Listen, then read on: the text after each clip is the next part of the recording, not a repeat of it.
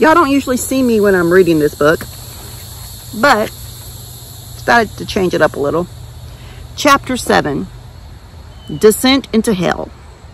Calvary must have had an immediate and tremendous effect upon that spirit world, the full extent and nature of which we may not yet know. W. Graham, Graham Scroggie. One would hardly expect the Apostles' Creed, composed in the early Christian era, to refer to the Nephilim.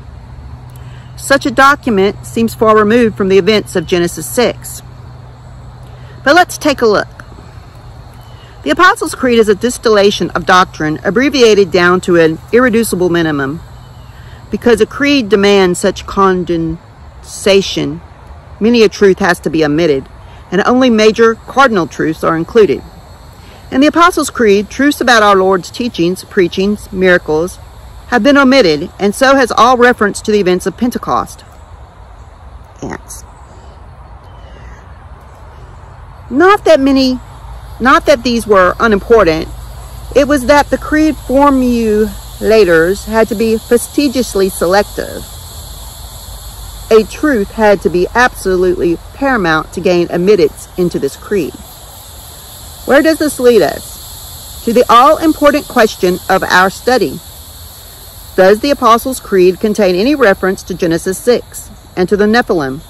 It certainly does. On the surface, it may not be all that apparent, but it is there. Embedded in the Creed is an article which received but scant attention from modern preachers and professors. It could well be called the forgotten article. It reads, He descended into hell. In the three-day interval before his death, between his death and resurrection, Christ went to hell to fulfill a specific mission. Oh, books. Admittedly, this particular article does not appear in the earlier forms of the Apostles' Creed.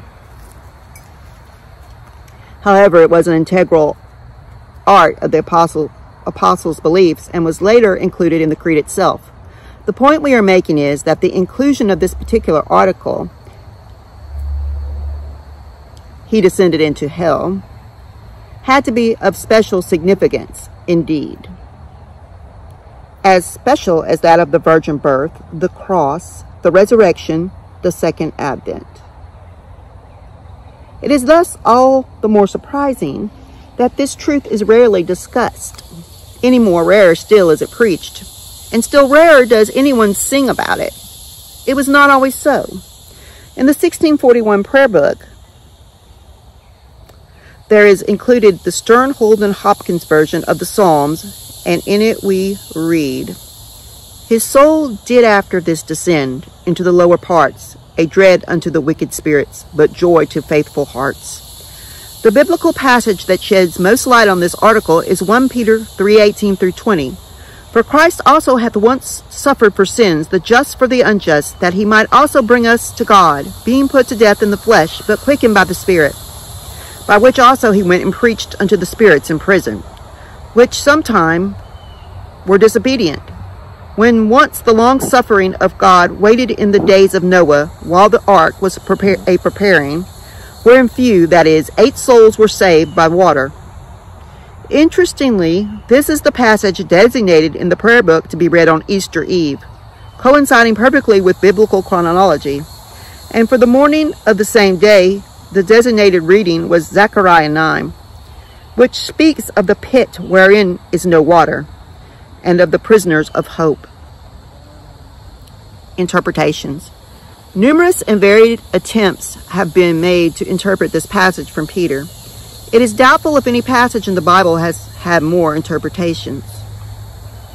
Some have interpreted it as a warrant for purgatory, some as a warrant for universalism, claiming release for prisoners of all time, some as a warrant for the release of those prisoners who were in hell at that particular time, and referred to as the harrowing of hell some as a probationary period for immature saints. But all of these theories run contrary to the testimony of Scripture. Nowhere are we taught that the saints have to go through a process of purging and purifying before gaining admission to heaven. Man enters heaven not by the slow, purifying process of purgatory which he endures, but by being made acceptable to God in the perfection of Christ who endured on his behalf. To argue universalism on the basis of this text is not only to deny the testimony of other passages of Scripture, John 8:24, Hebrews 9:27, but is, it is to deny the purpose of Christ in coming to the world. Obviously, these theories do not interpret the text. What then is its meaning? What does the Bible mean when it declares that Christ descended to preach unto the spirits in, in prison? 1 Peter 3:19.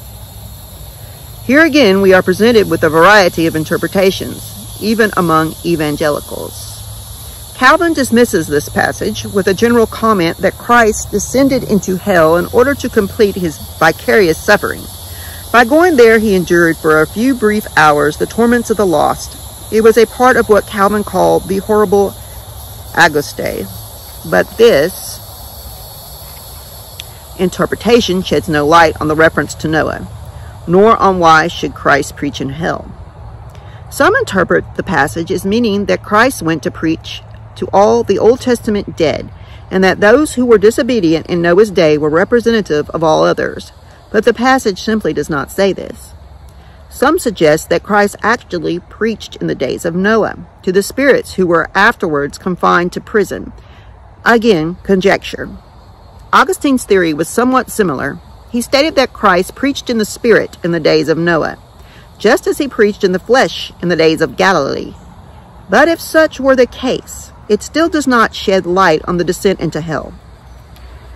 In the same vein, Others theorize that the reference has nothing at all to do with the Lord's action between his death and resurrection. Nor, as a matter of fact, does it refer to the days of Noah. Rather, it refers to the preaching of the apostles after the resurrection of Christ. Frankly, we fail to see the connection. It is obvious that all these so-called explanations have a lot of questions to be answered. Who are these spirits in prison? Why were they there? Why specifically those of Noah's day? What exactly did Christ preach to them? Peter's motives. Before beginning to answer each question individually, it is essential to know what the motives of Peter in writing this letter were. We know that he refers to Christ preaching unto the spirits in prison. But how does this fit in with the total message of the letter? Fortunately, Peter's message and motive is crystal clear. It is to encourage the saints who were suffering persecution for their faith. The letter abounds with references to them. They are the elect of God, scattered by a terrible persecution, unleashed upon them by the Roman emperor. They had become targeted for special treatment during the reign of Nero in AD 64-68. It proved to be one of the fiercest and cruelest persecutions in the history of the church. Peter is concerned about the saints, who had been dispersed and scattered throughout the empire and writes this letter to encourage their hearts and strengthen their faith. That the trial of your faith being much more precious than that of gold that perisheth, though it be tried with fire, might be found unto praise and honor and glory at the appearing of Jesus Christ. 1 Peter 1 7. Beloved, think it not strange the fiery trial which is to try you, as though some strange things happen unto you. But rejoice, inasmuch as ye are partakers of Christ's suffering, that when his glory shall be revealed, ye may be glad also with exceeding joy. 1 Peter 4, 12 through 13. Reign of terror. There is no doubt about the fiery element. This is exactly what awaited some of the saints at the hands of Nero. He used them as flaming torches to illuminate his gardens at night, referred to by Roman historians as flammati. Tacitus records, their sufferings were at the execution were aggravated by the insult and mockery. For some were disguised in the skins of the wild beast and worried by dogs. Some were crucified, and others were wrapped in pitched shirts and set on fire when the day closed, that they might serve as lights to illuminate the night. That is a sick, twisted, psychotic individual, sociopath, whatever, that would even do this to anyone. Juvenal writes,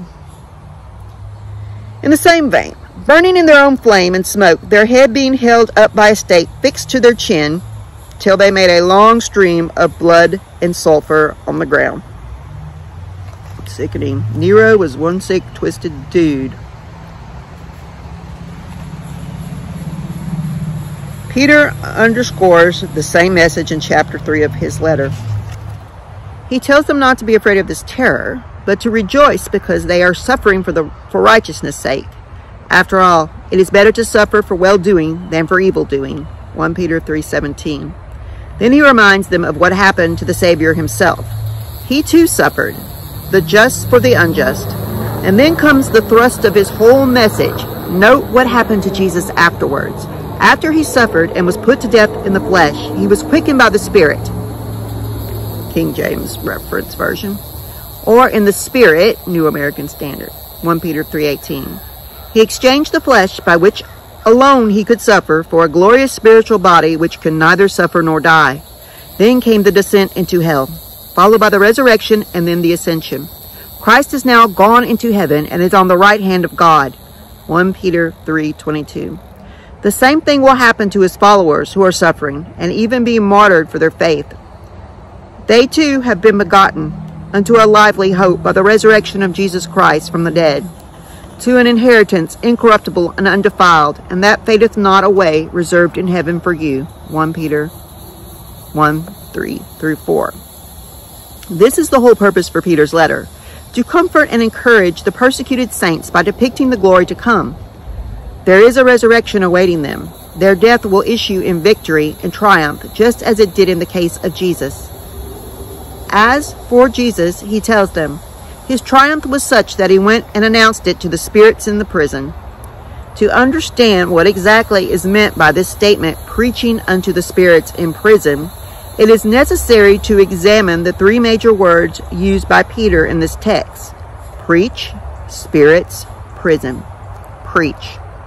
We normally associate preaching with proclaiming the gospel, but actually this is to put a limitation on the word which it does not have in the original. The Greek word for preach here is kerusso and means to herald, to publish, to proclaim. It does not tell us what it is to be heralded, published, or proclaimed. There's another Greek word that does that, and it is evangelizo. This word means specifically to preach the gospel, the good news. But kerusso is different. By itself, it tells nothing of the message to be proclaimed. Kenneth S. Wuest, in his word studies, tells us that the word kerusso in itself gives no indication of the content of the message. A qualifying phrase must be added for that purpose. This is why when the word kerusso is used in the New Testament, there is usually added to it a word like gospel or God. Jesus went all about Galilee, teaching in their synagogues and preaching the gospel of the kingdom. Matthew 4.23 we preached unto you the gospel of God. 1 Thessalonians 2 9. The bottom line is, when the word kerusso is used alone, as in 1 Peter 3.19, without any reference to the terms of the proclamation, then in no sense is the gospel or salvation a necessary part of its meaning. Thus, when Jesus went and preached unto the spirits in prison, it did not necessarily mean that he went to preach the gospel to them. It simply meant that he went and announced something to them, what was that something? We will become evident as we proceed. It is sufficient to say at this juncture that it was not the gospel, but something of a judgmental nature. Anyway, angels were never included among those for whom the Lord died. Preaching the gospel has no relevance for a congregation of angels. Spirits. Just as the word preach had been has been invariably associated in our thinking with preaching the gospel, so the word spirits has been invariably associated with the spirits of men. But again, this is to assume an association that does not exist. In the original, when the word spirit stands alone, it never signifies men. When it does signify men, there is always added to a further definition, like a qualifying word or clause, e.g., a certain damsel possessed with the spirit of divination. Acts 16, 16. The spirits of just men made perfect. Hebrews 12, 23. The word spirits, pneumata, by itself, without any qualifying description, is always used of supernatural beings, higher than man and lower than God. being they that have no beings that have no corporal garb of flesh and blood or flesh and bones.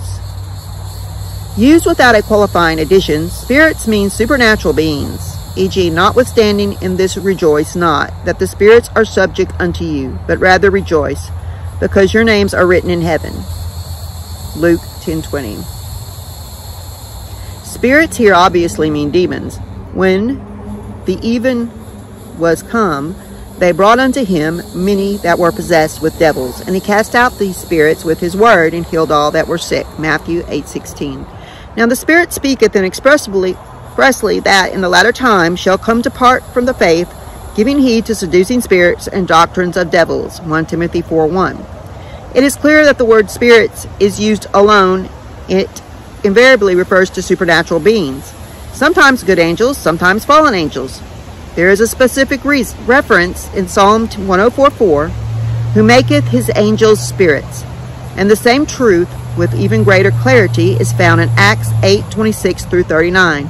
In verse 26, God's messenger is referred to as the angel of the Lord, but in verse 29 as the Spirit, and in verse 39 again as the Spirit of the Lord. The word angel and spirit are obviously used interchangeably. Revelation 1:4 speaks of the seven spirits that are before the throne of God, and Revelation 4:5 of the seven spirits of God. These were seven angelic beings standing in special relationship with the Lord. Even more conclusive is the fact that the two words come together in Acts 23:8. The Sadducees, we are told, believe in neither angel nor spirit.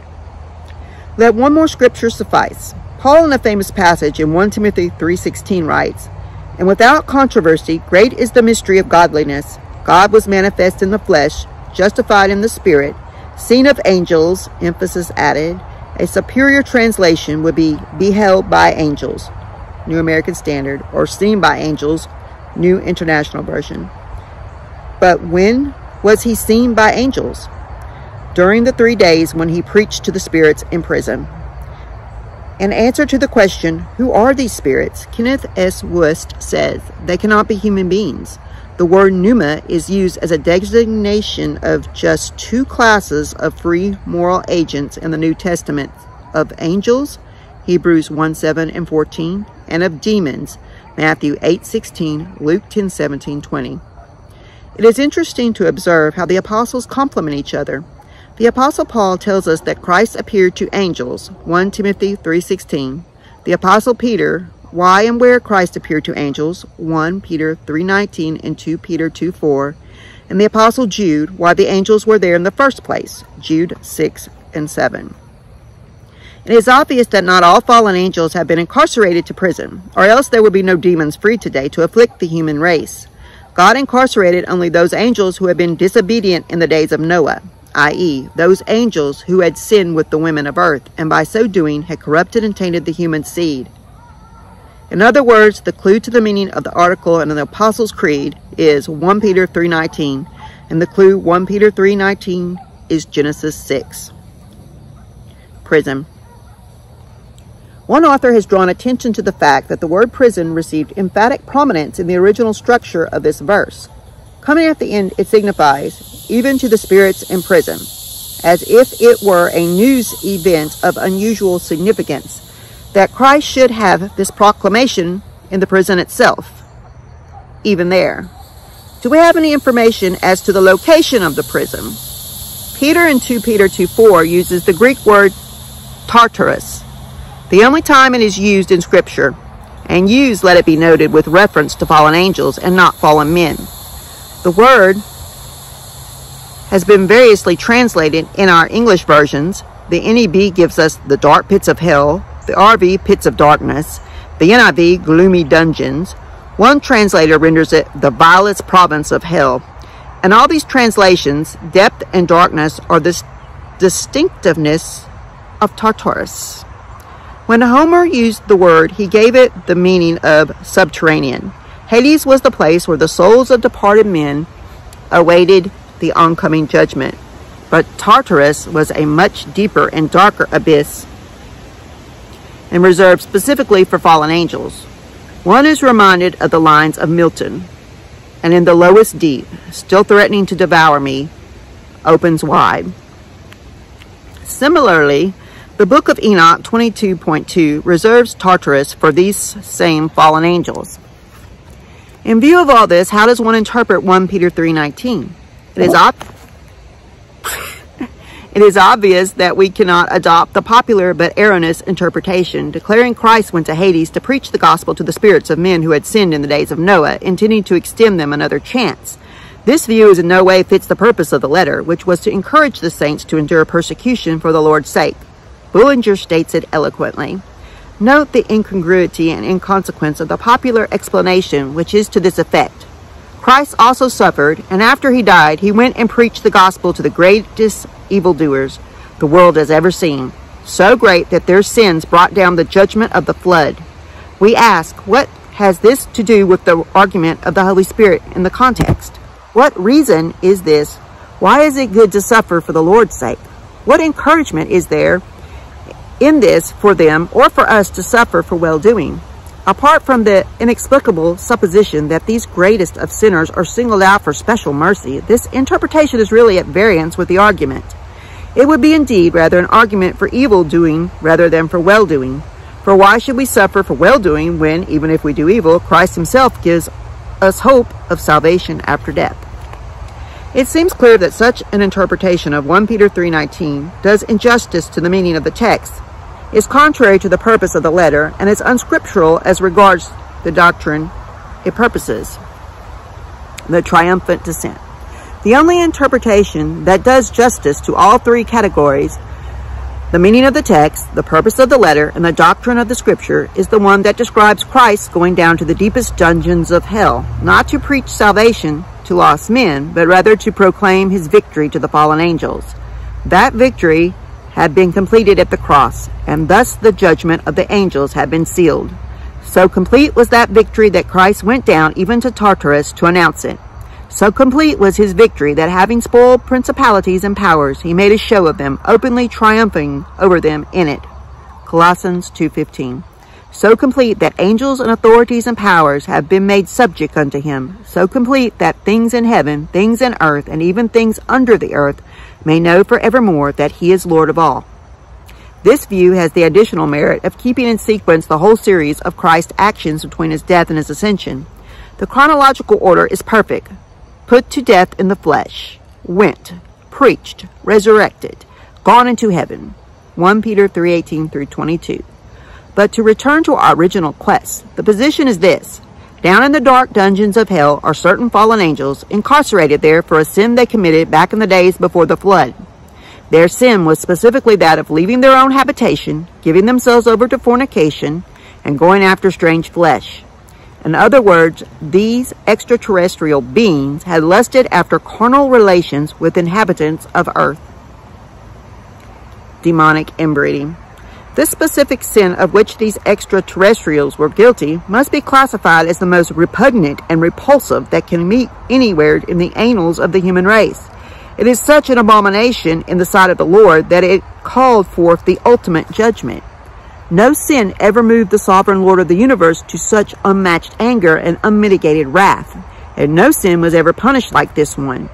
Its magnitude was such that both parties suffered in the most unusual and devastating manner humans by being nearly exterminated in the flood, and angels by being committed to everlasting chains. And what is of frightening import to us is that the same sin may we well be committed again in the last days of planet Earth. And as it was in the days of Noah, so shall it be also in the days of the Son of Man. Luke 17:26. But however black this evil was in itself, it was also indicative of an even blacker transgression it signified nothing less than the total disarray and derangement of the divine plan for the redemption of the human race. If Satan had succeeded in his conspiracy, it would have made the incarnation of Jesus and the atonement of Jesus impossible. Then Christ would not have been able to answer in his humanity to the humanity of man. What is more, God had no plan and has no plan for the redemption of angels.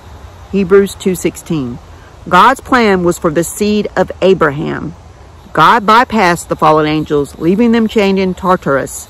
But in infinite mercy, he did plan the salvation of fallen man through the vicarious sacrifice of his own son. But this whole plan would have been in jeopardy if the human race had become permanently polluted by the inbreeding of demonic agencies from hell.